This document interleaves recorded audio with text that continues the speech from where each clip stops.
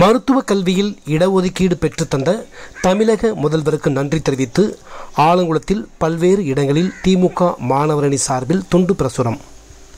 மருத்துவ கல்வியில் அகில இந்திய தொகுப்பில் இதர பிற்படுத்தப்பட்ட மாணவர்களுக்கு இருபத்தி ஏழு சதவிகிதம் இடஒதுக்கீடு பெற்றுத்தந்த தமிழக முதலமைச்சர் திரு மு க ஸ்டாலின் அவர்களுக்கு நன்றி தெரிவித்து துண்டு பிரசுரம் வழங்கும் நிகழ்ச்சி ஆலங்குளத்தில் நடைபெற்றது. தென்காசி தெற்கு மாவட்ட செயலாளர் சிவபத்மநாதன் தலைமையில் நடைபெற்ற இந்த நிகழ்ச்சியில் மாநில மாணவரணி துணை செயலாளர் ஷரீப் தென்காசி தெற்கு மாவட்ட மாணவரணி அமைப்பாளர் ஜே கே ரமேஷ் முன்னிலை வகித்தனர்.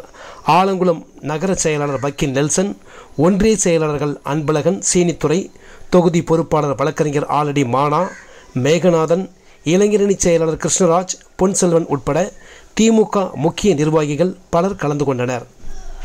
ஆலங்குளம் புதிய பேருந்து நிலையம் ஆட்டோ ஸ்டாண்ட் கடைகளுக்கு துண்டு பிரசுரம் வழங்கப்பட்டது.